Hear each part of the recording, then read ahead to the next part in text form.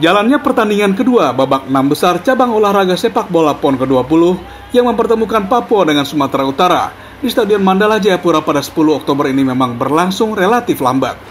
Peluang berbahaya pertama lahir pada menit ke-18 dari tendangan bek sayap Papua Inyoman Nixon Ansanai yang merangsek ke dalam kotak penalti Sumut.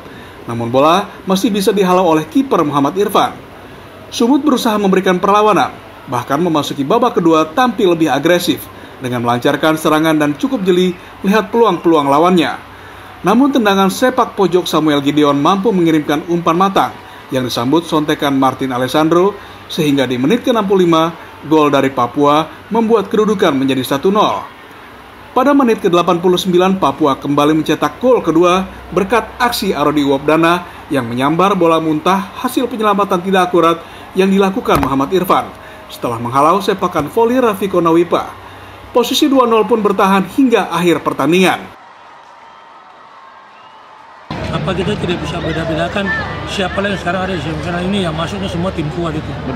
Sehingga apa Kaltim sendiri walaupun kemarin kita lihat kalah 5 dari apa Jatim jadi satu kekuatan yang kita tidak bisa ukur.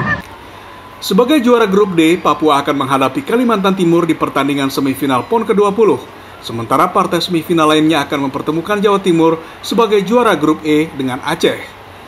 Dari Jayapura, Papua, Laksama Hendra, Kantor Berita Antara, mewartakan.